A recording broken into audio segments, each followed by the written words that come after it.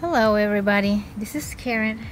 So today I'm gonna show you my Phalaenopsis orchids that I got from tour that I did the other day or last week. I didn't notice this terminal spike until I got home already, which is fine. Um, I'm gonna conduct an experiment, see how it goes.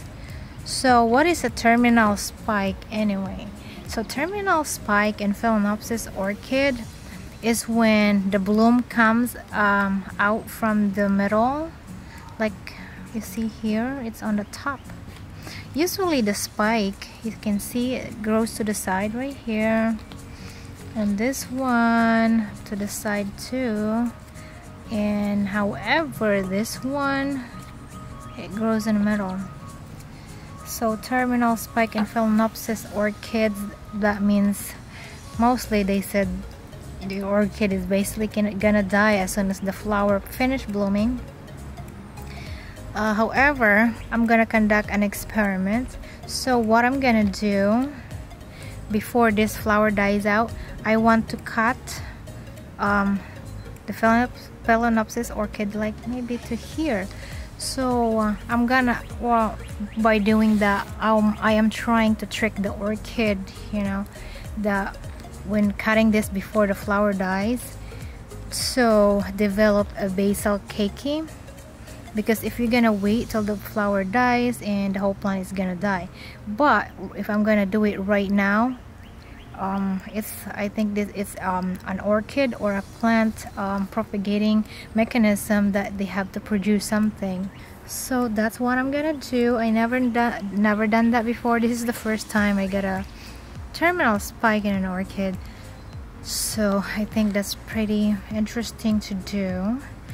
Um, so I have this prune shear right here. I that I disinfect already so I'm just going to cut that right here.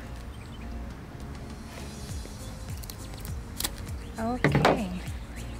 There you go. So I cut that. That's gone. And hopefully it'll, this will work hopefully. Well we'll see how this experiment goes. Anyway so by doing that I am hoping for a basal keiki